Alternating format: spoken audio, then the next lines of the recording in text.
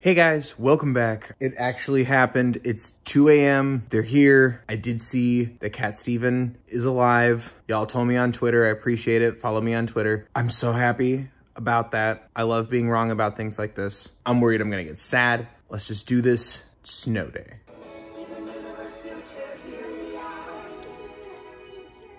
I've got all my morning nutrients in this protein shake. Dude, you're making me sad. Oh, he's growing up. I a cheese bag of backpack. uh, I don't really use that anymore. At least pet this cat. Baby bird's growing up. Oh no. Oh. Uh, guys, I've been a vegetarian for like a month. And Pupcopter is for six-year-olds. And I have my own skincare routine. Anyways, it's cool. I already ate. Oh no. Pepperoni Timeline, band name called it. Look, Steven, together breakfast, just like old times. Too much sugar for me. Don't do that to me. Oh god, I'm not okay with this. I'm feeling guilty for being older. Oh, and she transformed into old Steven. Nah, bro. Classic Steven. Classic Steven? Oh, oh, I'm getting sad. It's Cat Steven. I haven't seen her all morning. Oh, weird. Find that cat now. Garnet Steven. Dude, this is a fan art's wet dream. Steven tag. Wow, that takes me back. Well, I'm sure they.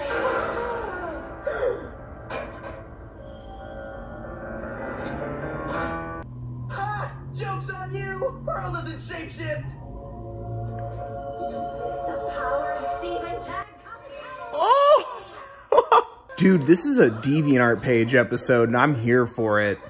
Bro, what? I mean, yeah, if Nicki Minaj is too expensive. Oh my god! I love the Smash Brothers titles. Alexandrite Steven, Alexandrite Steven, Alexandrite Steven, Opal Steven, yes! Opal Steven! Steven became a giant woman. Ish. I don't know why Three-Eyed Steven is what broke me, but it did. He's got the sleeves. It's not the same shirt. That's fine. Alexandrite Steven, Alexandrite Steven, Alexandrite Steven. oh, I love her.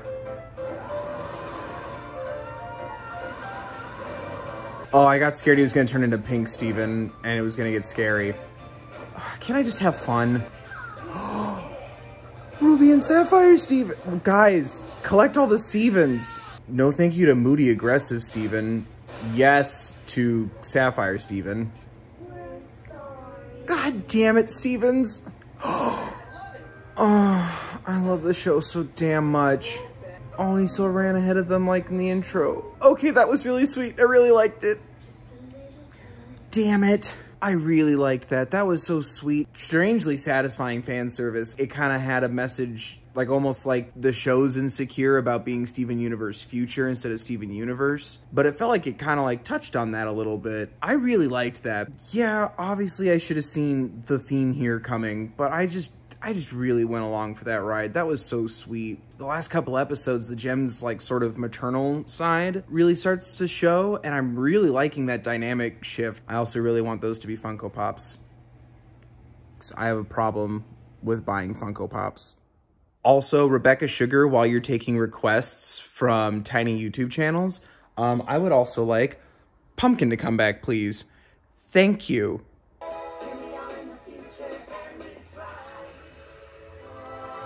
I'm scared because Lapis was trending on Twitter, which means something good or something bad. Lapis pants! Steven onions? Steven flowers?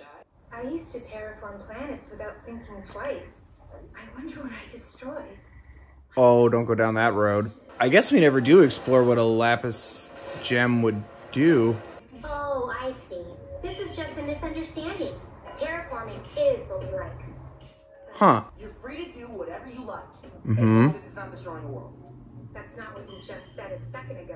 Why are we splitting hairs? How can the thing we've always done just suddenly be wrong? At the very least, we've got to finish this world. Oh my god, I love this episode already. This is going to be a fight. They're not nice like me. Um. Exactly. Ha! Yes, own up to it. they danced back. Dance like his infusion. Did did that flower just poop another flower?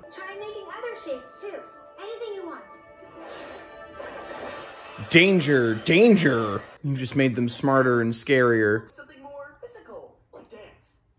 They're gonna fuse. Oh no, they're gonna fuse into something scarier and deadlier. You could try expressing yourself through song. Yeah, she has a really good ballad, so. Ooh, why so blue? Oh no. Oh no, oh yes, oh no, oh yes.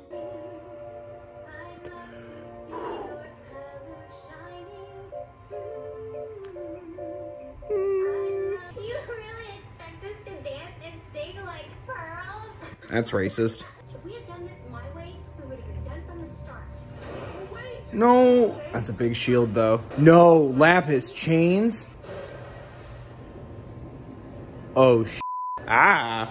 Demon, kill it with fire. Oh, it's pitiful now. Uh, this, this hurts a lot. That's not you anymore. Yeah, sorry about that. uh, so is this at school you mentioned? Yeah. Yay! Oh, that got a little scary. Was I expecting a fusion? Yes. Am I mad?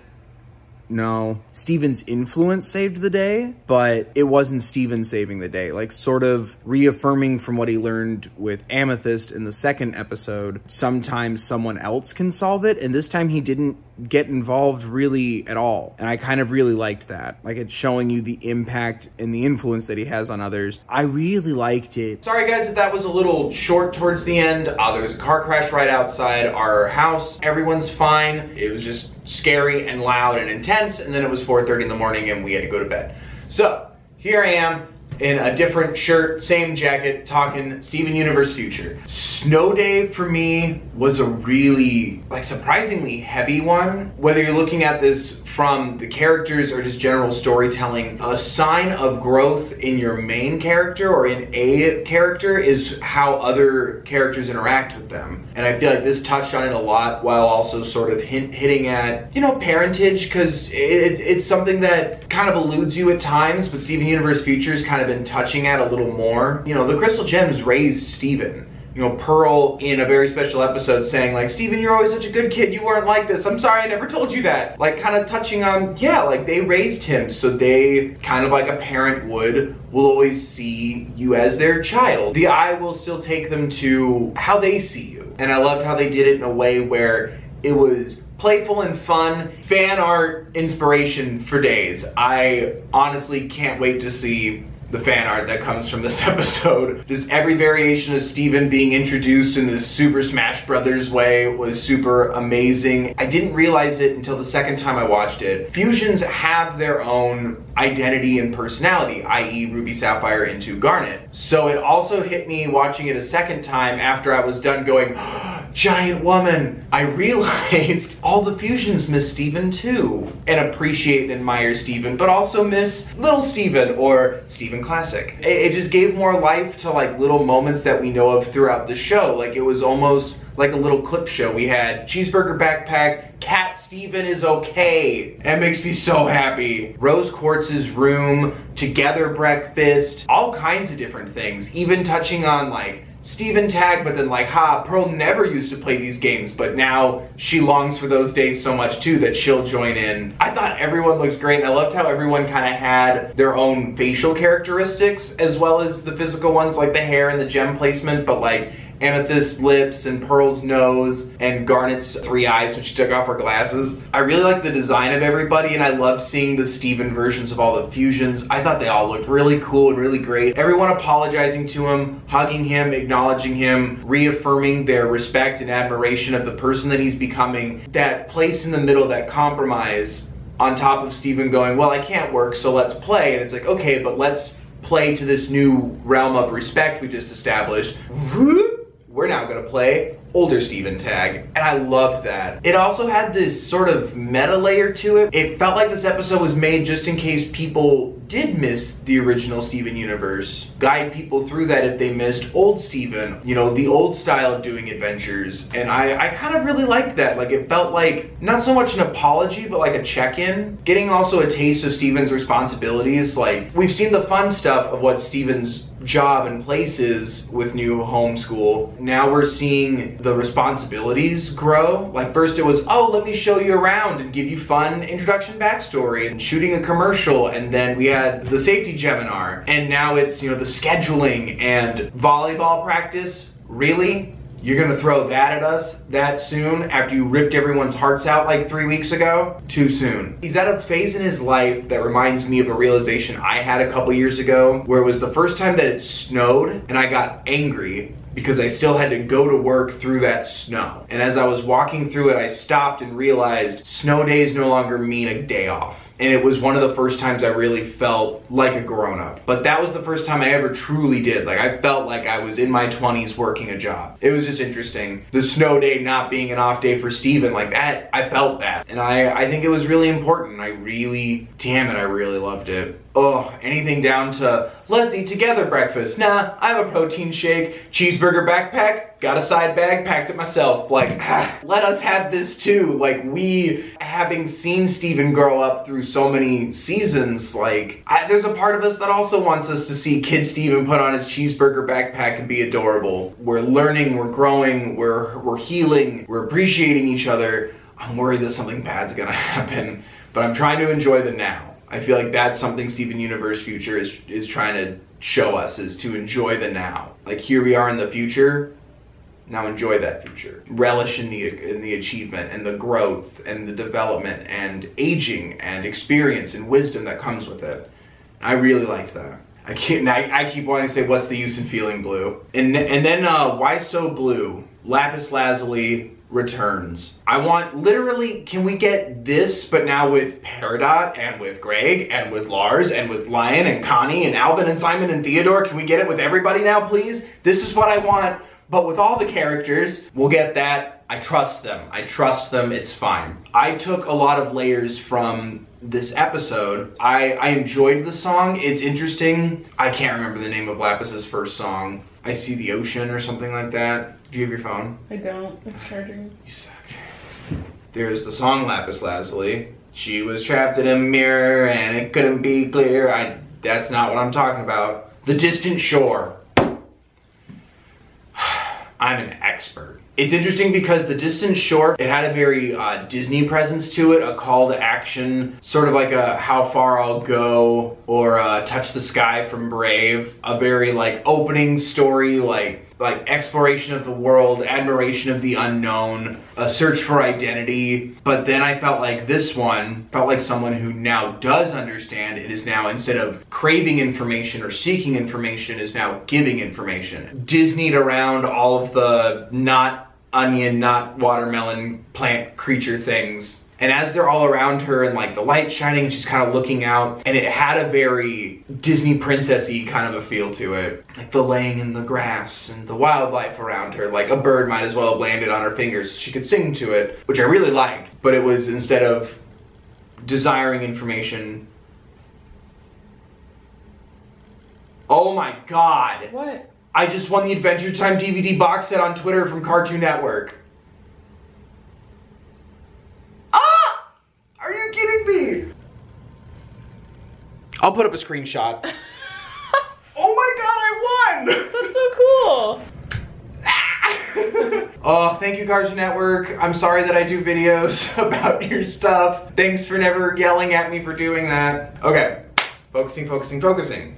Um, I really like the, the, the new Lapis song, but it, it felt so sort of at peace, this delicate balance that they found in themselves and the world. I really loved that. The episode also, this one sort of paralleled Steven and Amethyst. Steven got way too over involved in what Amethyst wanted to do. This time, Steven really did take a back seat and let the influence and the impact he's had on his friends and his team to really let her choose and shine and take the spotlight here. And he trusted her. Like he he defended her with his shield. He stood by her. He didn't, you know, no, Lapis, stop. Like he wasn't like reaching out and stop and like pulling her back or with withholding her feelings. It on one hand it felt like the other Lapises. At moments it felt like social change. Like what do you mean? Like suddenly we can't do this now? We can't terraform and destroy worlds? It felt very much like a so what? Suddenly that word's an offensive word kind of a approach. And I found that really interesting. This was a social change in this world, and not everyone's gonna get the memo right away, especially when it's the approach of do whatever you want, like you're free now. Okay, I wanna keep it up. But you can't do you're not you're not gonna do that. Well you said anything. Like it was a very aggressive and defensive stance on it. And I, I, found that really interesting. And maybe i'm just reading into it a lot because of the current social climate. So what now i'm bad? It's like well we're giving you an opportunity to figure out something else to do or something else to say. You know what i mean? Like it gave me a lot of those kind of flavors. It also touches on how Lapis has gone through an intense amount of trauma, both being trapped in the mirror and then being forced into a fusion with Jasper, and then trying to come to terms with that, not trusting people. Like she thinks that she needs isolation, and it turns out that that's not what she needs at all. She's pushing people away. A lot has gone on with this character. All those things helped her appreciate things more now, surviving it and getting out on the other side of any type of intense or negative situation stronger on the other side. You're you're more knowledge. You have a different point of view. Touching on that, but then also someone who hasn't gone through those things isn't wrong. It, she didn't want to trap them in a mirror, but then when she used the water chains, that hurt. She realized that, and then it was used against her. And then once again, for that brief moment, Lapis is in chains, and it, it triggered the the water demon Avatar The Last Airbender moment. Sometimes, you know, people need inspiration through creative outlet, like with dance for uh, Freckles Lapis. Short Bob Lapis wasn't feeling any of that. And I, I was kind of hoping we would see what would maybe inspire her, but also some people don't change that fast. Like it was a very interesting way to, to deliver that type of message and information to the audience. She's suffering from PTSD and they could have given her like flashbacks or trigger words. She could have just relapsed into pushing people away again, and it's like, oh no, not again. It was a very interesting way of kind of showing you a different version of yourself and helping you understand even more who you are and what you've been through and what you've seen and how that's shaped and formed you now. And I felt like they handled it very nicely. Like it was very well done